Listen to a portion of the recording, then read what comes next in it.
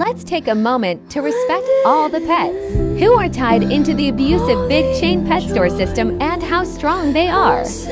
I was at PetSmart today and I saw a family getting a betta fish and a bowl for their five year old. It hurts because we can't help these babies. When we buy them, we help the pet store. Instead, we have to spread awareness of what happens behind the closed doors of pet stores like PetSmart and Petco and how strong these animals are.